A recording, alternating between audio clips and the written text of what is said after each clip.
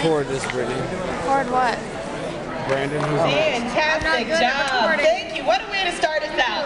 Yeah, I think I'm it's important for all phone. of you to know that you're not just here today to support your fellow comrades in education. You are also supporting the American Cancer Society. Oh, the money raised tonight is going directly to the Vinton Relay for Life that Cave Spring oh, High School oh, has been involved in.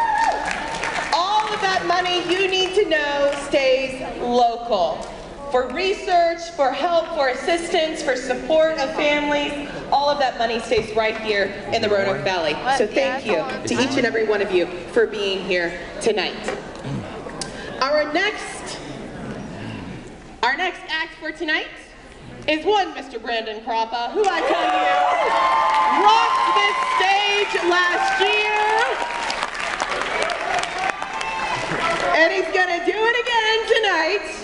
with Talk Dirty to Me.